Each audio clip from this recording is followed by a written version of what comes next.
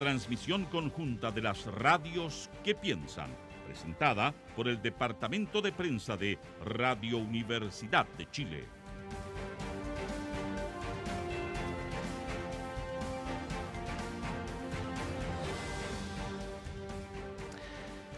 Y saludamos a esta hora de la mañana al todavía presidente de Revolución Democrática, Diego Vela, y digo todavía porque recordemos, ese, está ahí en proceso de, de fusión. fusión eh, ahí viene Revolución el, el Frente Amplio, seguramente con nueva dirección. Sí, se viene el Frente Amplio. Así que saludamos a Diego Vela a esta hora de la mañana. Diego, ¿cómo le va? Buenos días, gracias por estar con nosotros. Muy buen día, Claudio. Muy buen día, Juanita. Qué bueno verles. Sí, igualmente, igualmente Diego, con, ganas de conversar respecto de lo que fue esta cuenta pública el pasado sábado y por supuesto también de, las reacciones. Eh, a, modo general, ¿cómo, ¿cómo, viste el discurso y también, por cierto, eh, las reacciones que generó, por ejemplo, en la derecha? Sí, a mí me pareció un muy buen discurso. O sea, ya habíamos visto los otros dos del presidente que generalmente en este espacio habla de muy buena forma, yo creo como jefe de Estado hacia las chilenas y los chilenos y en ese sentido creo que quedó muy bien reflejado los avances concretos que hemos tenido eh, en dimensiones muy relevantes como ha sido la economía, planteó el control de la inflación, cómo también estamos generando la capacidad de crecimiento, donde se normalizó también justamente una situación que era muy compleja, donde algunos decían que íbamos a tener desaceleración, donde no íbamos a tener crecimiento, y ya se está generando una proyección que es relevante con generación de empleo, con desarrollo social también, subiendo el salario mínimo a más de 500 mil pesos, reduciendo la jornada laboral a 40 horas, con una serie de iniciativas que en, un informe de rumbo colectivo eh, reflejan más o menos ya con un cumplimiento del 52% del programa de gobierno, donde hay muchas materias como copago cero, que permite que la salud pública ya no dependa del dinero que uno tiene eh, y otras cosas que son relevantes que están avanzando. Lamentablemente todavía queda pendiente la materia legislativa, eh, que ahí sí hemos visto que hay una mayor dificultad de avance y el llamado que hizo el presidente, que creo que fue muy claro, en el sentido de decir, tenemos que poner a las personas por delante, necesitamos llegar a acuerdo y hay un emplazamiento directo que, que yo he visto que ha hecho eco y espero se vea materializado en votos, en el fondo, que es que en materia de pensiones pongámonos de acuerdo y logremos lo antes posible avanzar en esto, también en el fast track que se planteó de políticas de seguridad económico y social, eh, que en el fondo de aquí a septiembre se puedan despachar varios proyectos. Y por otro lado también otros compromisos que nosotros teníamos de campaña, pero que por sobre todo son reflejo de un compromiso que nosotros tenemos con nuestra visión sobre cuáles deben ser los derechos de las mujeres, cuáles deben ser también cómo debemos tratar el endeudamiento en educación superior, cómo también tienen que ser las problemáticas que se vienen a nivel nacional eh, en primera infancia, con mejor niñez y, una serie de materias que para nosotros son súper importantes, que creo que fue muy contundente y es de esperar que sigamos avanzando en, esa, en esa línea. Sí, buenos días, Diego. Eh, he escuchado opiniones distintas respecto a este anuncio, o más que el hecho de presentarlo, porque es parte del compromiso de campaña, el proyecto de ley sobre aborto, algunos han mencionado si era pertinente ponerlo en el mensaje presidencial, justamente eh, sabiendo, porque me imagino que se imaginaron la reacción de la derecha, que iba a tapar un poco comunicacionalmente todo el el contundente informe respecto a todos esos otros temas. Sí, o sea, para nosotros el avanzar en derechos sexuales y reproductivos es un aspecto fundamental de nuestras convicciones y de lo que creemos que deberíamos avanzar como país. Eh, y en ese sentido, el que algunas personas estén dándole un foco profundo es que quizás justamente, y también lo que ha pasado un poco es que gente no quiere ni siquiera debatir sobre esto. El presidente creo que fue muy claro diciendo que el proyecto se presentará en diciembre y va a involucrar un proceso de discusión social de aquí hasta diciembre. Eh, yo lo que espero es que demos el debate como corresponde, con responsabilidad, que no se censure ese debate y que podamos, ojalá, buscar avanzar en esto. Y por eso era importante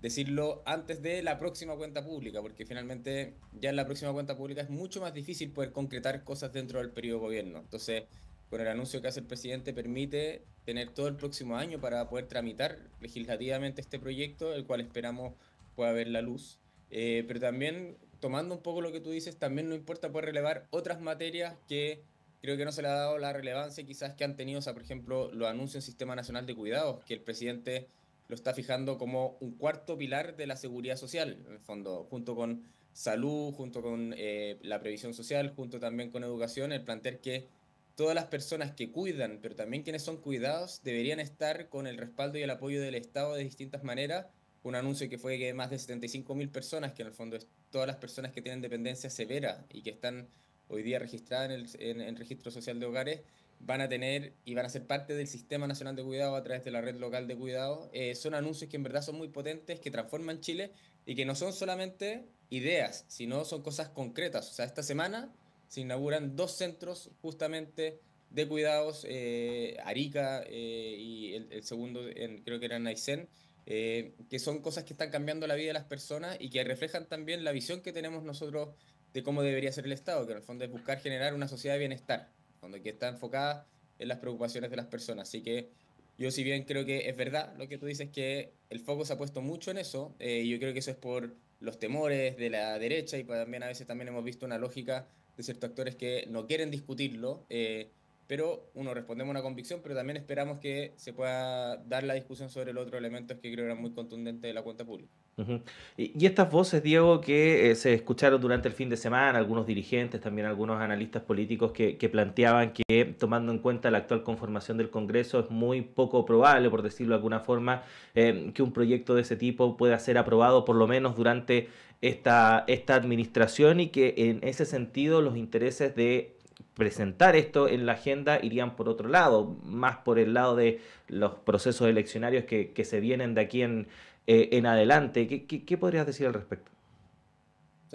yo, no comparto, o sea, en, varios proyectos de ley que hemos presentado, eh, preliminarmente se ha dicho que no están las mayorías para eso. Así fue el alza histórica del salario mínimo, así fue el royalty minero también, que hoy día está generando una inyección de recursos a nivel nacional que al principio la derecha decía por ningún motivo, eh, también así fue el proyecto 40 horas, o sea, recordar cómo se bloqueó finalmente a un principio esa discusión y terminamos casi con una aprobación unánime, si, si no recuerdo fue, fue unánime, y en ese sentido nosotros creemos que es importante poder dar este debate, darlo con responsabilidad. Yo he visto también ciertos sectores que sí reconocen que hay que legislar al respecto, o sea, hay que recordar que en Chile, hasta el último día de la dictadura, en Chile existía la posibilidad de abortar. Y finalmente a través de un decreto la dictadura justamente cambió el código sanitario y eh, imposibilitó esto y en ese sentido nosotros creemos que es un debate que tenemos que dar y también ponernos al día en la legislación que existe. No puede ser como esta lógica que, existe actualmente que finalmente está eh, limitado eh, un derecho que nosotros creemos y hay que generar las condiciones de seguridad para que el aborto pueda ser seguro. y eso implica legislar al respecto. Así que yo, vería cómo avanza la discusión. De aquí a diciembre tenemos el espacio de discusión social, que también nos importa mucho que se generen no solamente a nivel parlamentario el próximo año, sino este año con eh, organizaciones que han trabajado al respecto, con la ciudadanía en general. Eh, y en ese sentido yo, yo, tengo confianza que como en otros momentos hemos tenido la capacidad, incluso también la democracia cristiana ha sido muy relevante en avanzar en estas dimensiones en la historia de Chile. Entonces, yo también ahí invitaría que podamos dar la discusión como corresponde en el Congreso, eh, con responsabilidad y no quedarnos eh, netamente en, encerrarnos a, posiciones previas. Diego, eh, a propósito de la democracia cristiana, justamente uno puede decir, a lo mejor su presidente o algunos dirigentes se oponen, pero dentro de la DC hay de todo y seguramente van a haber muchos que sí están de acuerdo, ¿no es cierto?, con una ley de aborto. Ese es un partido bastante diverso y no necesariamente confesional como se podría creer. Pero en la democracia cristiana y concretamente la senadora Proboste hubo una crítica eh, que tiene fundamento, que es este, por tercer año mencionar el pago de la deuda histórica de los profesores, pero sin entregar ni fechas ni procedimientos concretos. ¿Qué pasa cuando se menciona por tercer año consecutivo que se va a pagar la deuda histórica o que se le va a solucionar el problema a los profesores y hasta ahora no tenemos nada concreto? el presidente yo creo que fue bien concreto en, plantear que eh, se va a avanzar en la materia, o sea, se va a cumplir con el compromiso que, que existe y se va a presentar un proyecto de ley al respecto que va a considerar justamente reparación hoy día para personas y entró en un detalle, o sea, decía con una priorización en los pagos, entendiendo que no puede ser todo el pago hoy día, sino con una priorización de pago para las personas de mayor edad, que justamente quienes concentran la deuda histórica, si no mal recuerdo, en, la cuenta pública. De los 80 años habló. Exacto, exactamente. Eh, y en ese sentido, o sea, lo, lo, que hay que esperar es que se pueda presentar ese proyecto de ley. Yo ahí el ministro Cataldo el que está liderando eso, pero en, varias, en varios momentos. este tema lo hemos discutido en la mesa de presidentes de partido y se ha dicho que se va a cumplir con el compromiso, se va a presentar un proyecto de ley al respecto, así que en ese sentido esperamos poder ver ese detalle. pero yo creo que el, mencionarlo y también darle bajadas concretas un poco a lo que el anuncio es avanzar al respecto y ahora lo que queda pendiente justamente es conocer el detalle que eso lo podremos saber una vez que se presente el proyecto de ley. Eh, Diego, eh, continuando con, las reacciones que hubo desde la democracia cristiana, hay una nota que trae hoy la tercera donde se habla de que incluso podría haber una o va a haber una reunión durante esta semana em, por parte de los parlamentarios de la democracia cristiana para evaluar em, cómo van a em, enfrentar los diversos temas a nivel legislativo que están eh, actualmente en carpeta a partir de este anuncio que se hizo ¿no? en, la cuenta pública respecto de la, la eventual presentación presentación de un proyecto de aborto, de aborto libre. Em, eh, ¿Se tensa definitivamente la relación con la democracia cristiana? ¿Qué, qué pasa ahí, Diego?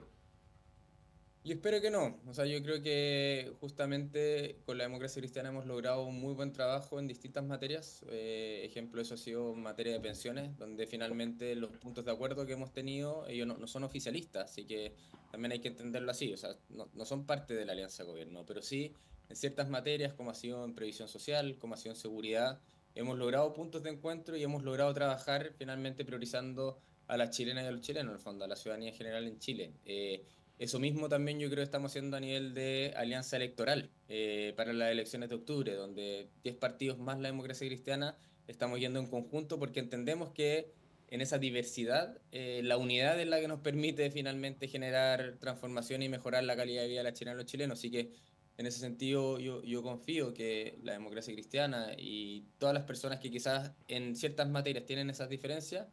vamos a lograr priorizar finalmente también los otros elementos donde sí tenemos coincidencia y eh, poner a las personas por delante y sí, buscando que se siga avanzando. Yo creo que sería un error el, el que otra agenda, o sea, cuando cuando en Chile se terminó con, o sea, se, se, permitió el divorcio, cuando se permitió la pastilla el día después, cuando se discutió tres causales, donde habían diferencias, eso no inhabilitó el que se pudieran avanzar en otras reformas sociales, políticas y económicas. Y en ese sentido estoy convencido que el camino es que sigamos avanzando en eso y que respecto a esta otra materia, que, en el, que es el caso del aborto, tengamos la capacidad de poder discutirla en el Parlamento. Acá eh, no se pueden censurar debates, acá yo creo que es fundamental que se dé esa discusión eh, y en ese sentido finalmente ellos a través de la deliberación política y con el voto puedan plasmar su posición, eh, pero en ese sentido esperamos, como también lo ha hecho la ministra Orellana en muchos otros proyectos de ley, eh, como fue la ley Papitos Corazón, eh, la ley contra la violencia contra la mujer, que también no existían muchos consensos, logró construir consensos finalmente que permitieron que esos proyectos se aprobaran por amplias mayorías. Y en ese sentido yo confío mucho que eh, el debate y la discusión va a ir poniendo, va a ir bajando un poco más la pelota al piso para que eh, se pueda legislar de buena forma. Eh, efectivamente, bueno, hay una diferencia, ¿no? La ley Papito Corazón, etcétera. El problema es que estos temas valóricos son, son temas bien profundos para algunas personas, ¿no? Que tienen que ver con convicciones religiosas, de principios, en fin, y, y se les hace más complejo, ¿no? Entrar en esos debates. Pero quiero llevarlo a otro tema, que es el de la negociación eh, la negociación ramal, ¿no es cierto? La negociación por sector, que también es un tema complejo y que ya generó eh, algunas declaraciones de parte del empresariado. Sí, o sea, en primer lugar, eh, lo que está planteando el gobierno es dar paso a una negociación multinivel que busca ampliar un poco más el espectro y permite una mayor flexibilización en cuanto a no solamente limitarlo a un sector, sino también poder dar un poco mayor espacio para que distintas teorías de distintos sectores puedan negociar colectivamente, eh, poniendo el ejemplo, por ejemplo, un mall, que los distintos eh, locales que están tengan la capacidad de pues, negociar conjuntamente con eh, los dueños de, de, ese mall, es que el gobierno está convencido de que hay que avanzar en esta materia y poder legislarlo y que finalmente en la discusión legislativa se puedan poner los argumentos de lado de lado. Pero para nosotros sí algo que está muy pendiente esta materia, que justamente hoy día el poder que tienen eh, los sindicatos, pero por sobre todo el mundo del trabajo, es muy limitado respecto a eh, el poder que tiene el sector empresarial. Y en ese sentido, en un espacio donde justamente eh, estamos buscando todo generar valor, es relevante que esa distribución del valor tenga una distribución más equitativa y donde se pueda hacer partícipe finalmente a las distintas actorías que generan ese valor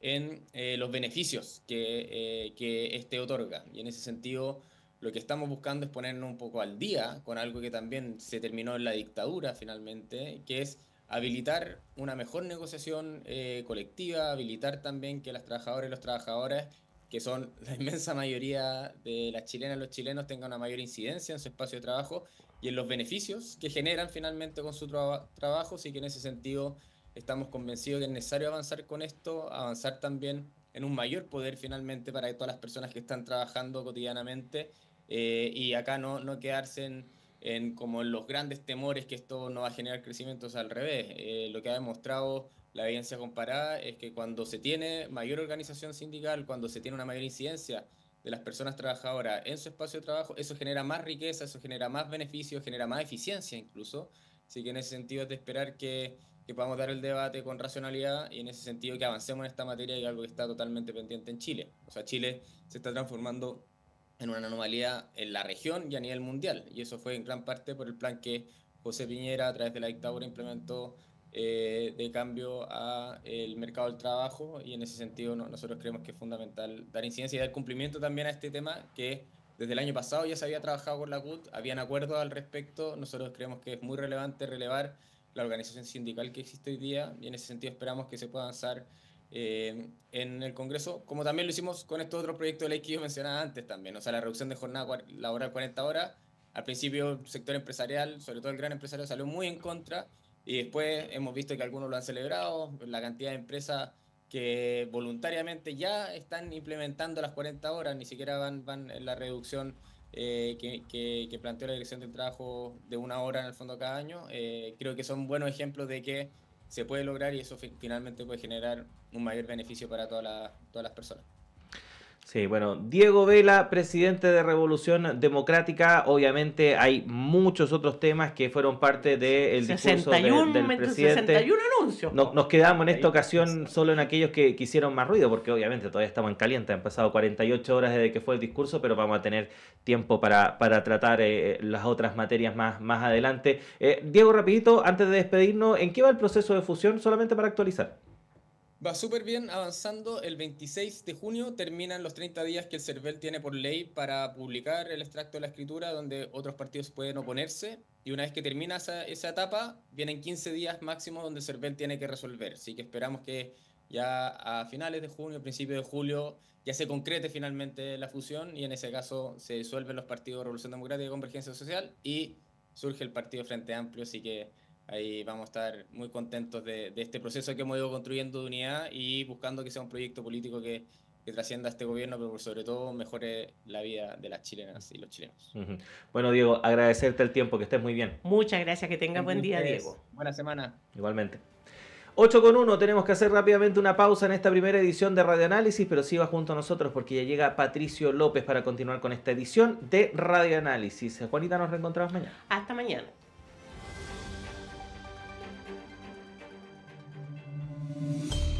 En estos tiempos, elija un servicio serio, confiable y de primera línea. Servicio de Sanitización y Control de Plagas Urbanas de la Universidad de Chile. Ejecutado por el Centro de Estudio y Manejo de Plagas de la Facultad de Ciencias Veterinarias.